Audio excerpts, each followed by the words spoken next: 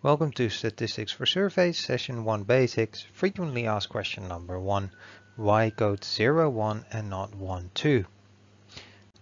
The question I'll be trying to answer in this segment is, in Web Lecture Segment 1, Session 1, uh, Segment 2, I mentioned that it's recommended to code value 0 and 1 rather than, for example, 2 and 1 if there are only two options. And I often get the students asking me, why is this? In order to show why it's often preferred to code as 0, 1, I'll be using two different examples. The first one is which, uh, is which percentage is male. Now in order to answer this we will need two things. We will need to know how many males there are and how many cases there are in total. If I would have coded male and female as 2 and 1 or the other way around 1 is female and 2 is male.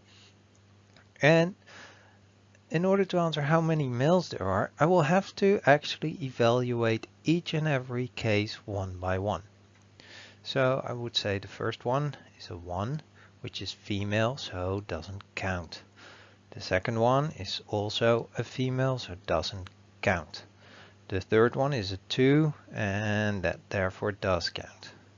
And this one is female again, so no. This one is male, so yes. This one is male, so yes. Uh, this one is female, no. This one's female, no. This one's female, no. And this one's male, so yes.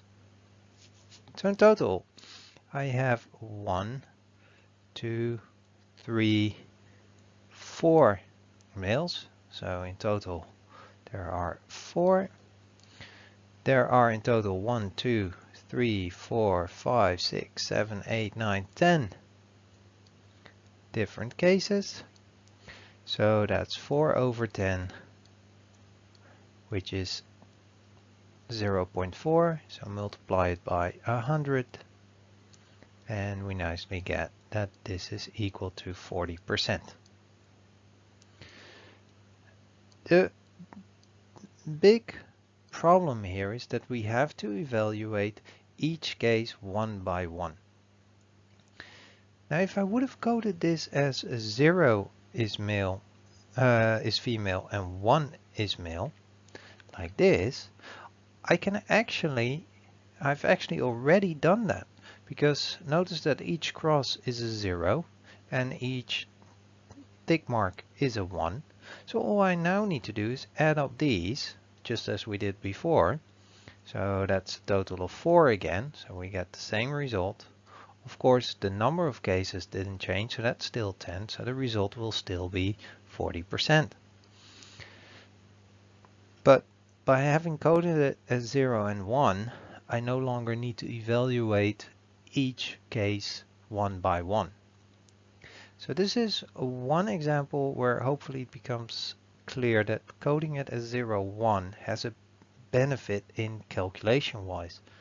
And now this was only 10 cases, so the difference wouldn't be uh, huge. But if you have, let's say, 50,000 cases, then this can actually save quite a lot of time. Here's another example. Let's say I've asked people which sports they played and I would like to know now how many sports they play in total. So for example, I've asked if they people play football, hockey, tennis or volleyball. And in this style, I've actually used a coding of one is do not play and two is play. So for the first person, it turns out doesn't play football, does play hockey, does play tennis, does not play volleyball, so in total this person plays two sports. The next person actually does play football, does not play hockey, does not play tennis, does not play volleyball, so only plays one. The third case does play football, does play hockey, does play tennis, does not play volleyball. So that's three. And the last one actually does not play football, does not play hockey, and does play tennis and volleyball, so that's another two. again, I have to evaluate every time each separate case for each separate variable.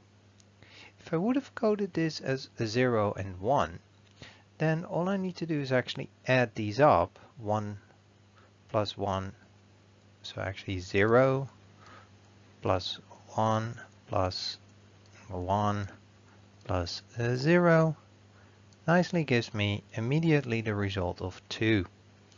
And here it's 1, here it becomes 3, and here it becomes uh, 2. So I hope by showing these two examples you see the convenience of actually coding something as 0, 1 rather than 1, 2. Now it doesn't matter much for SPSS because you can always recode a variable, but you might want to avoid having to recode something by just coding it straight away as a 0 or 1.